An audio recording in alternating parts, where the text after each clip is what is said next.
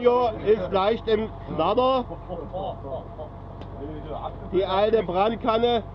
Du hast ja selber abgefüllt. Keiner ist verantwortlich.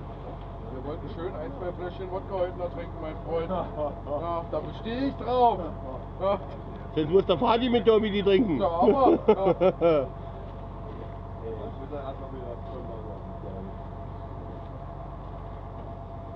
Ich war kurz unten nicht so, uh, oh, ich muss aber schnell wieder hoch. ey.